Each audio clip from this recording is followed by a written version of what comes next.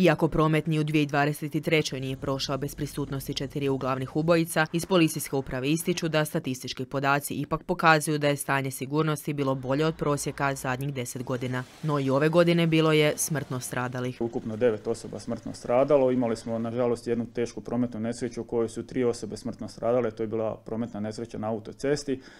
Kad već govorimo o autocesti, Prošle godine je ukupno na autocesti smrtno stradalo šest osoba u četiri prometne nesreće i svi su bili strani državljani. Znači, u onim ostalim prometnim nesrećama su stradale osobe na području županijskih ili lokalnih cesta. Konkretno u Rešetarima smo imali jednu smrtno stradalu osobu, zadnja je osoba smrtno stradala u Trnjanima. No dobra je vijest da se u 2023. u odnosu na 2022. godinu dogodio manji broj nesreća u kojima su sudionici smrtno stradali. Sedam prometnih nesreća se dogodilo u odnosu na osam prošle godine. Broj smrtno stradalih je jednak i 9-9.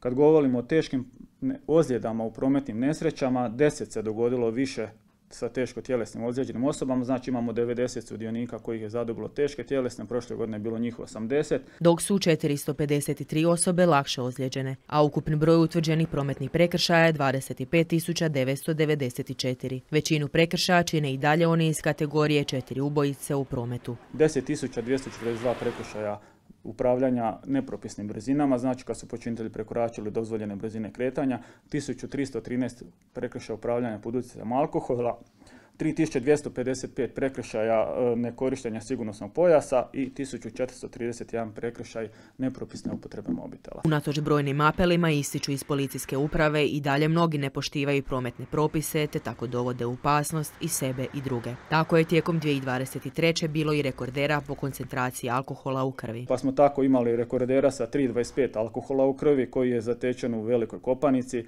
3.11 na autocesti gdje je vozač upravljao teretnim automobilom strani državljanin.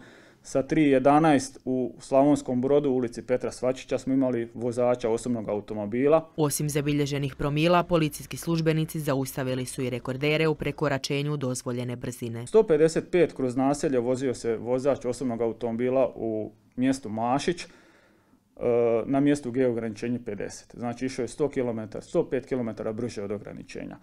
Najveće brzine naravno su na autocesti, imali smo 241 km na sat na autocesti, znači u zoni Slavonskog broda je vozač vozio s automobilom. Sve su to šokantni podaci koji bi trebali sve sudionike prometa potaknuti na poštivanje prometnih pravila. A i policija će to još jednom učiniti pojačanim nadzorom prometa u oči Vinkova koje se slavi 22. siječnja. Pojačano ćemo nadzirati i dalje znači vozači pod utjecajem alkohola, pojačano ćemo nadzirati sve ona sve one lokacije gdje se očekuju i gdje znamo već da se čine prometni prekršaji nepropisne brzine kretanja vozila, pojas i mobitel kao četiri ubojice i dalje radimo.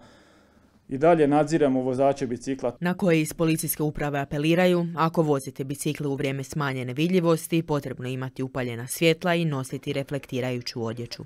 Osim toga, kao i inače, potiču sve vozače na oprez. Ne pite dok vozite, vežite se sigurnosnim pojasem, vozite primjerenom brzinom i ne koristite mobitel. I zacijelo će promet u novoj 2024. biti još sigurniji.